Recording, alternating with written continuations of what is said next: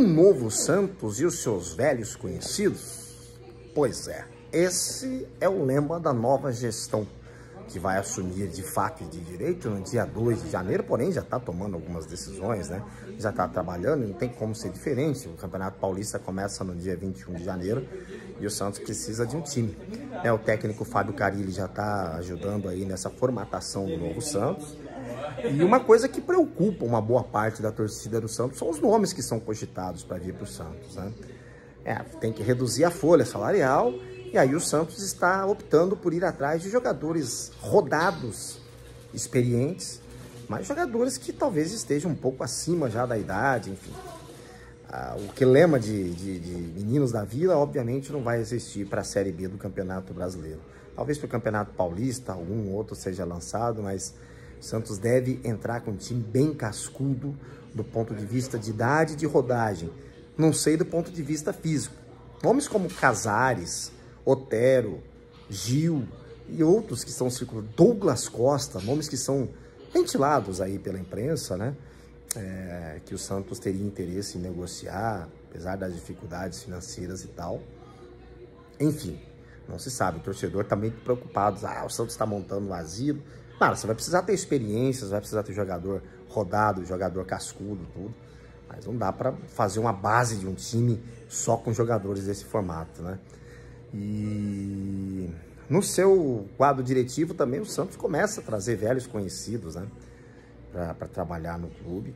É, o Modesto Roma Júnior, ex-presidente, que está expulso do clube por ter as contas reprovadas, volta a fazer parte do, do quadro de diretores do clube. É, e outros aí, né, que estão voltando aí também, ou seja, algumas figurinhas carimbadas, uns puxa-sacos das eleições aí que, que vão entrar e faz parte, né? Isso é, é, o que importa é o resultado, né? É, essa é a grande verdade. Tomara que dê resultado. É isso que a gente vai cobrar, são os resultados. Quem é, quem vai assumir, isso aí já não... Né? É, que, que são pessoas que não deveriam estar mais no clube, isso são, né? Gente que já passou pelo clube, gente que deixou o seu rastro no clube, é, que são pessoas que não deveriam estar no clube, isso a gente sabe, mas agora tem que esperar o que acontece, tem que esperar e torcer para que dê certo. É, agora é, é Santos Paz de Amor né? Essa é a grande verdade. Mas não, não, não, se espera muita coisa não. Gente que começou no outro conselho, na outra gestão, aí ficou doentinho, saiu, não fez nada e tá aí agora cuidando de bar. É assim, é, é não tem como criticar antes das coisas acontecerem. Só que tem muitos que já passaram por lá e já deixaram seu rastro. acabei de falar sobre isso aqui. E é torcer para que o Santos consiga contratar alguns jogadores. O Dodi foi negociado, vendido em definitivo para o Grêmio, não foram divulgados os valores ainda. O Soteldo foi emprestado também para o Grêmio. É, o João Paulo está negociando os salários, deve permanecer no Santos Futebol Clube.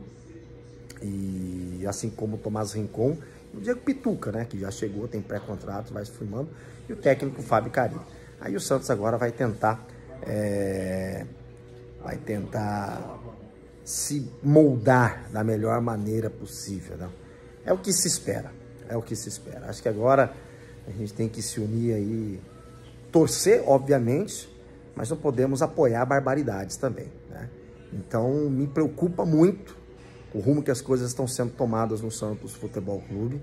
Isso já era previsível, isso já era previsível se você vê figuras carimbadas voltando a circular o clube, né, o Santos Futebol Clube. É, é o que eu sempre falo, a política do Santos é muito nociva ao clube, e faz com que algumas, alguns vícios fiquem em torno do clube. Não as moscas que ficam em, em torno dos animais, alguma coisa assim, que trazem doenças. Tem muitos aí que já trouxeram doenças para o clube e começam a rodar o clube novamente. Isso é muito preocupante. Isso é muito preocupante. Desde os quadros diretivos, dos quadros de funcionários mais baixos, tem umas moscas que estão retornando ao clube e é muito preocupante isso aí, que coisa boa eles não vão trazer para o Santos. Tomara que mude, tomara que mude. Eu, eu vou até refazer. Coisas boas eles não trouxeram para o clube. Tomaram que traga agora. Vamos torcer. Vamos torcer. Que o Santos consiga se organizar para ter um time competitivo e faça um campeonato paulista digno e suba, né? Saia da Série B e volte para a Série A, para a elite do Campeonato Brasileiro, que isso é o que a gente espera, é o que a gente torce, é o que a gente quer. É isso, minha galera. É, hoje não vou fazer live, Mas eu retorno às lives a partir da terça-feira, no dia 26, já trazendo mais notícias. Sempre fazendo conteúdo, mas as lives eu não vou fazer essa semana mais. Hoje já dia 22. Um abraço a todos vocês. Se eu não falar com vocês, só vou falar com vocês em live agora, depois do Natal. Em, em vídeos, eu vou falar com vocês antes. Todos os dias vai ter um vídeo do Santos Futebol Clube. Tá bom? Um abraço a todos vocês. Para cima dele, Santos. Eu sempre acredito, eu vou acreditar sempre. Vamos que vamos.